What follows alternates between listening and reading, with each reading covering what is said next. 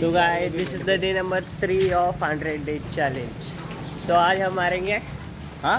Chest shoulder triceps हैं? करायची गरज आहे हाँ। हं? जाएँगे क्योंकि हम एक छड़ बंदे तो मिलते हैं जिम में तब तक के लिए bye bye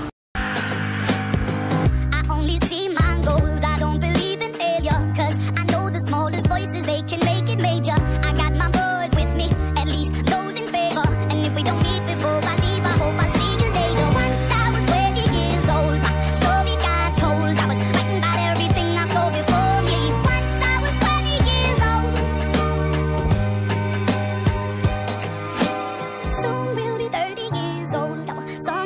songs have been sold. We've traveled around the world and we're still roaming. Soon we'll be 30 years old.